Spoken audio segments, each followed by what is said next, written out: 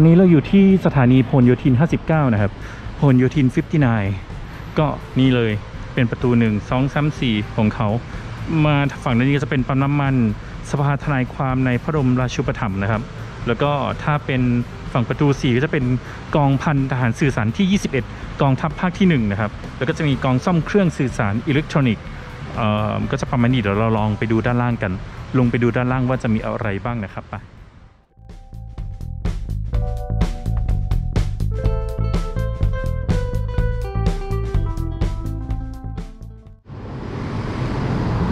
ตอนนี้เราลงมาด้านล่างแล้วนะครับ ก็จะมีสตูดิโอชุดแต่งงาน เดี๋ยวพามาเดินดูว่า ตรงสถานีพหลโยธิน 59 เนี่ย มีอะไรบ้าง อันนี้ก็จะเป็นร้านที่นอนนะครับ ร้านที่นอน ส่วนมากฝั่งด้านนี้เขาจะเป็นร้านค้าขายของต่างๆ มากกว่านะเนี่ยรถขายรถออู่ซ่อมรถขายมอเตอร์ไซค์อะไรอย่างเงี้ยนะครับ แล้วก็จะเป็นคอนโดด้านล่างของพหลโยธิน 59 อาจจะยังไม่มีสถานที่ท่องเที่ยวเยอะแยะนะ นี่ก็คือเป็นแบบบรรยากาศข้างล่าง เดี๋ยวพามาเดินดูบรรยากาศว่า มีอะไรบ้าง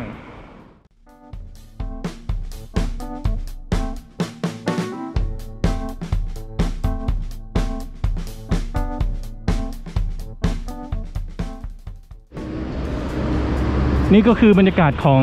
ออสถานีพหลโยธิน 59 นะครับ ก็จะเป็นแบบเป็นตึก ที่พักอาศัยเป็นร้านขายของอะไรเล็ก ๆ น้อยๆนะครับ ตอนนี้ก็อาจจะไม่ได้มีสถานที่ท่องเที่ยวอะไรเยอะแยะนะ ก็จะเป็นที่พักอาศัยของประชาชนทั่วไป เดี๋ยวเราไปดูสถานีถัดไปอยู่ด้านหน้านู้นดีกว่านะครับว่าสถานีถัดไปจะมีอะไรให้เราเดินเที่ยวกันหรือเปล่า นี่เลยพหลโยธิน59 เดี๋ยวเจอกันที่สถานีต่อไปนะนี่คือแผนผังของสถานีรถไฟฟ้านะครับ ก็ ที่เราอยู่ตอนนี้จะเป็น N18 พลโยธิน59 สถานีตัดไป N19 สายหยุดนะครับ N20 สะพานใหม่ N21 เนี่ยโรงพยาบาลภูมิพลอดุลยเดชนะครับ แล้วก็ 22 พิพิธภัณฑ์กองทัพอากาศนะครับ N23 แยกคอปอ แล้วก็ N24 คูคตนะครับ เดี๋ยวเราจะพาดูอาอาจจะเป็นบางสถานีนะครับ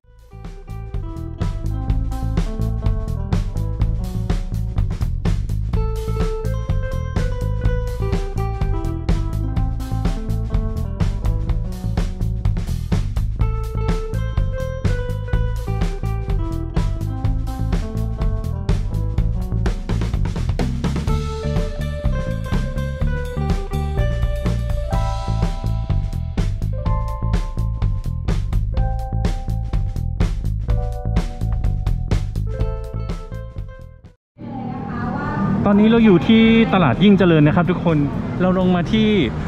สถานีสะพานใหม่นะครับ อันนี้จะเป็นโซนพาซ่านะ ตลาดยิ่งเจริญของเราเนี่ยฝั่งด้านนี้ก็จะเป็นแบบโซนมือถือนะครับเนี่ยมีโซนมือถือโซนขายของ ตอนนี้เขาเรียกว่าเป็นโซนพาซ่านะ เดี๋ยวเราจะไปดูฝั่งด้านนี้กันว่า นอกจากฝั่งด้านนี้แล้วจะมีอะไรบ้างอ่าเดี๋ยวเราจะ ออกไปฝั่งด้านนี้นะครับ เนี่ยตลาดยิ่งเจริญนะครับ ก็ลงที่สถานีสะพานใหม่ได้เลยนะ วันนี้มีร้านขายของกินเยอะแยะอยู่ติดกับสถานีสะพานใหม่เลยแบบน้ำน้ำปั้นโอ้น่ากินมาก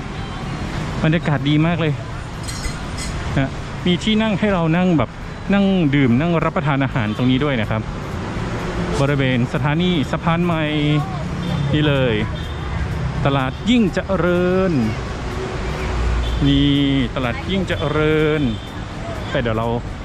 เเข้าไปด้านในกันดีกว่า นี่เข้ามาด้านในนะครับ ก็จะมีแบบร้านค้าต่างๆ เยอะแยะเลยโอ้อุปกรณ์การใช้ใช้เครื่องครุงเครื่องครัวอันเนี้ย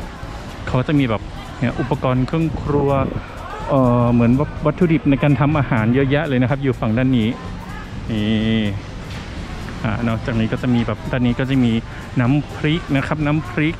อันนี้ก็จะเป็นผักผักที่แบบทำให้เรียบร้อยแล้วนะ จัดการไว้ให้เรียบร้อยแล้ว ไปเดินดูฝั่งด้านนี้กัน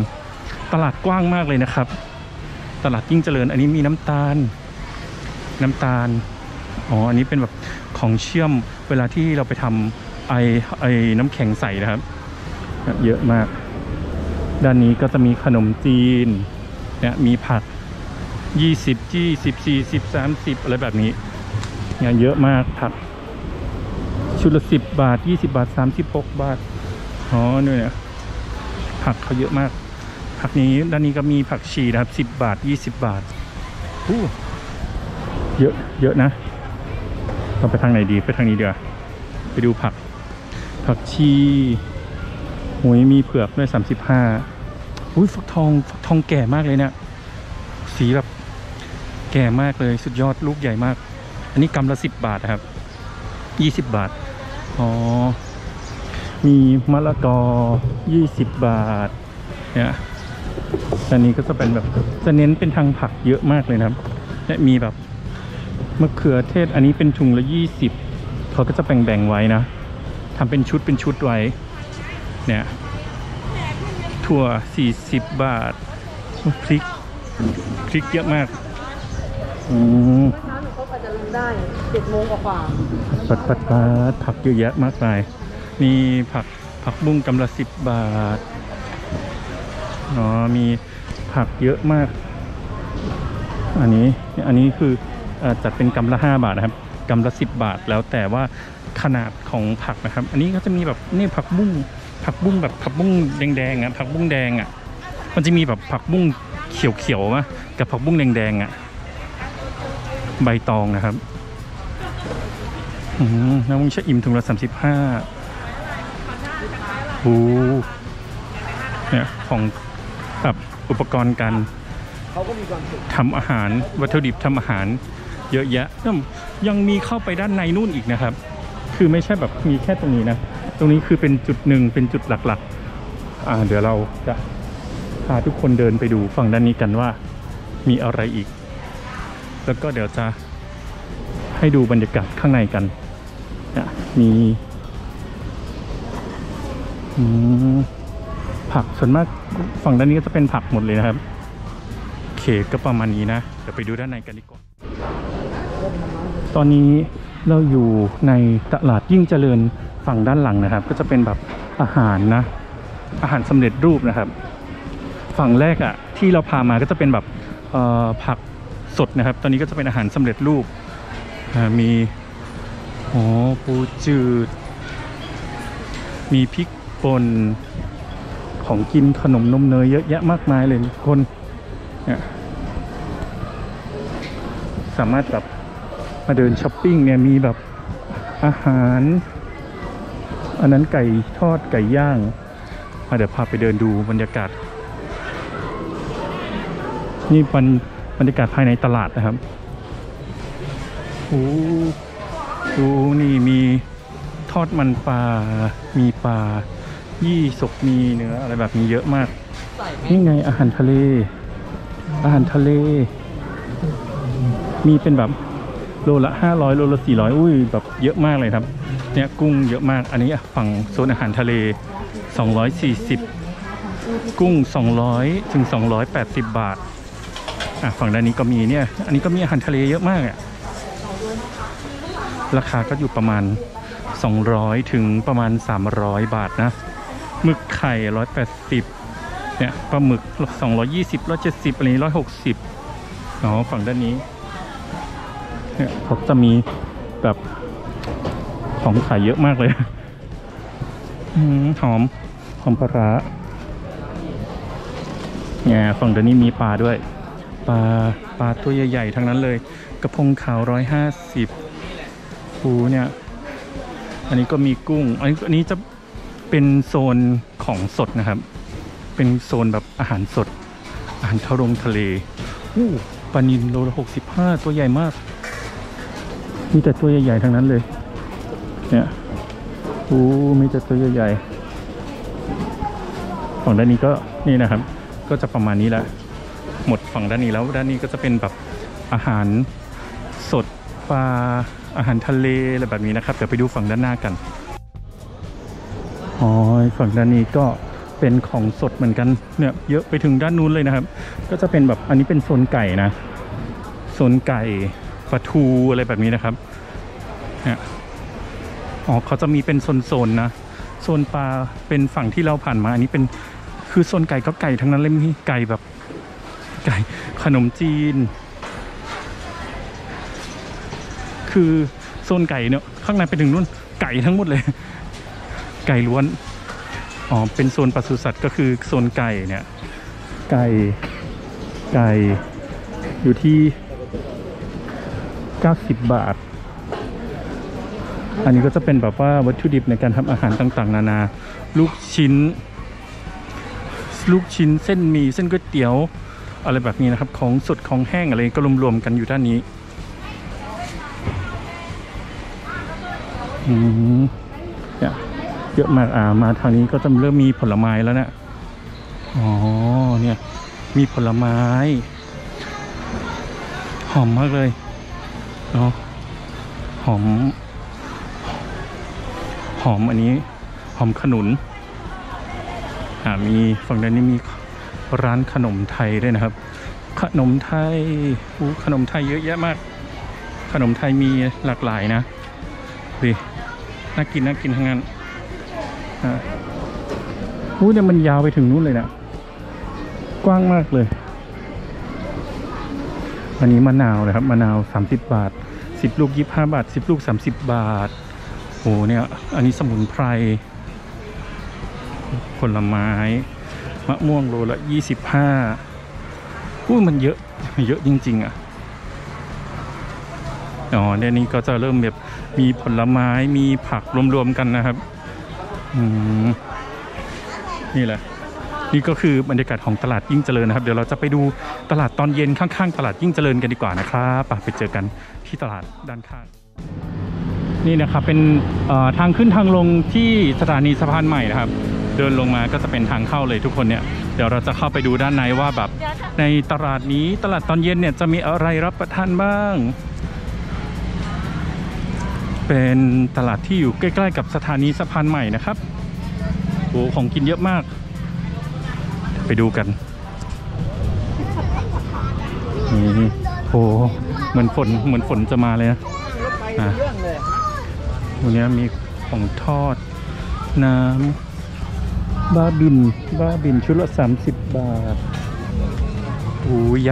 ำยำตีนไก่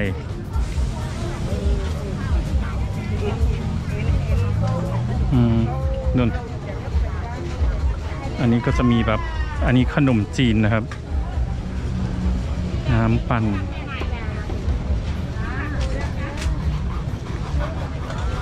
น้ำปั่นเนี่ยมีไก่อู้อันนี้ก็ส้มตำนะตำไรบัวฝั่งด้านหลังเนี่ย เขาจะมีที่ให้นั่งรับประทานด้วยมีของกินเยอะมาก ไปเดินดู อ๋อของกินเขาก็จะมีอยู่ฝั่งหนึ่งนะ อีกฝั่งฝั่งด้านหลังนะฝั่งที่เหลือก็จะเป็นแบบประมาณแบบขายของขายเสื้อผ้าทั่วๆไปนะครับเนี่ยด้านนี้ก็จะเป็นของกินอยู่ มียำ อ๋อ นี่มีหอย หอยแมลงภู่ มีไก่ด้านข้างเขาจะเป็นของกินนะ แต่ว่าตรงบริเวณโซนกลางๆอะเขาจะเป็นแบบขายเสื้อผ้านะครับ เนี่ยก็จะพาเดินดู เราเดินดูของกินเนีกว่ย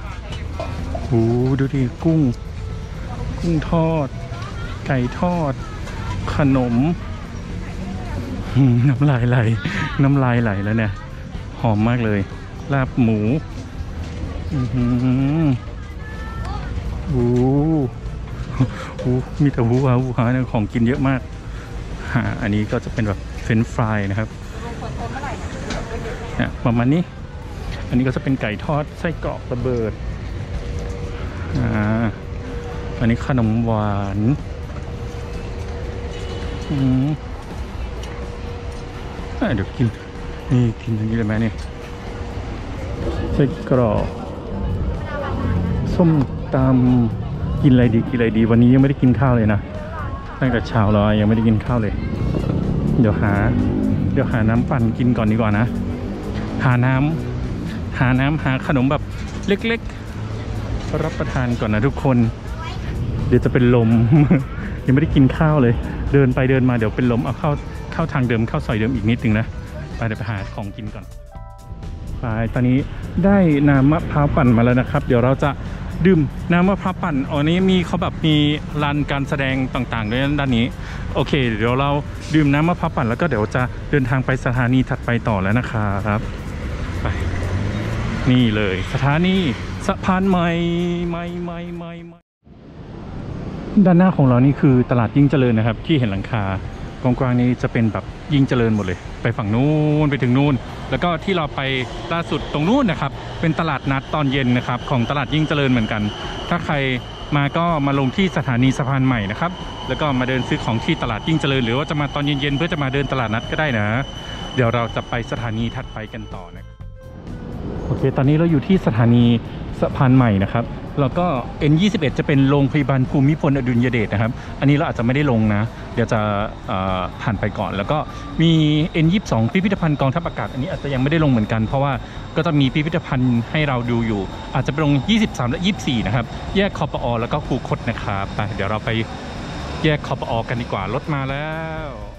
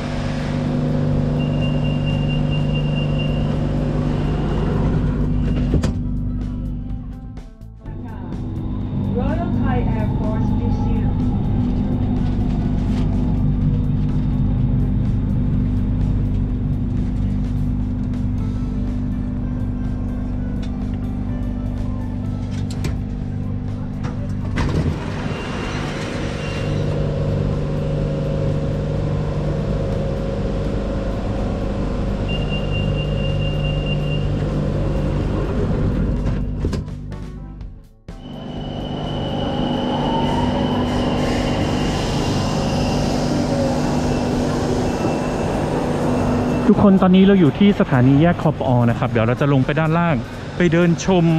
บรรยากาศของแยกคอปอกันนะครับ แล้วก็จะลงอีกสถองสองสถานีสุดท้ายก็คือ สถานีนี้คือแยกคอปอแล้วก็คูคตนะครับ ไปดูว่าสองสถานีนี้มีอะไรบ้างสองสถานีที่ผ่านมาก็จะเป็นโรงพยาบาลแล้วก็ของพิพิธภัณฑ์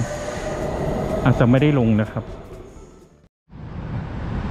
นี่คือบรรยากาศของแยกคอปอนะครับทุกคน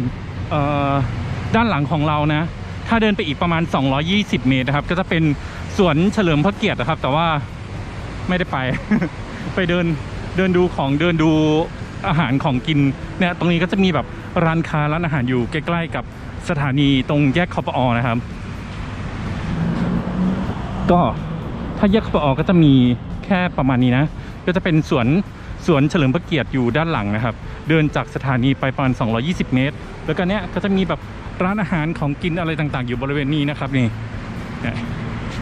มีร้านอาหารต่างๆ ร้านอาหารเวียดนามร้านอาหารอีสาน เดี๋ยวเราจะไปสถานีคูคตกันนะครับ ไปดูว่าคูคตมีอะไรอีกนะครับคอปอก็จะมีแค่ส่วนนะ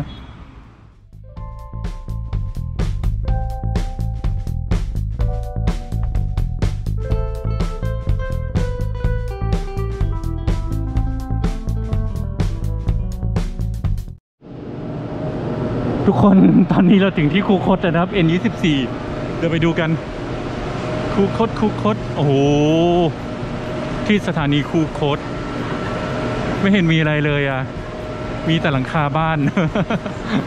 มีแต่หลังคาบ้านอะ เออเราจะไปเที่ยวไหนอะ โอ้โหโอ้โหสุดยอดแล้วอะ สุดยอดแล้วอะ มองลงไปปุ๊บเออป่าป่าป่าป่าป่าป่าป่าป่าป่า แล้วก็ตรงนู้นก็หลังคาบ้านหลังคาบ้านหลังคาบ้านแล้วเราจะไปไหนไม่มีอะไรเลยตรงเนี้ยสถานีคูคตอะโหเดี๋ยวเรา เดี๋ยวเราลองเดินไปดูฝั่งด้านนี้กัน ถ้าแบบมันไม่มีอะไรเราก็อาจจะไม่ได้ลงนะ คงอาจจะไม่ได้ลงอาจจะแบบกลับเลยแล้วกัน รู้สึกว่าคือจริง ๆอะดูข้อมูลมาเหมือนที่เนี่ยจะมีวัดอยู่วัดหนึ่งนะ แต่ว่าน่าจะอยู่ตรงนู้นซึ่งตอนนี้ก็ประมาณ5้าโมงเย็นแล้วนะครับ วัดน่าจะปิดละ อยู่ไกลจากสถานีพอสมควร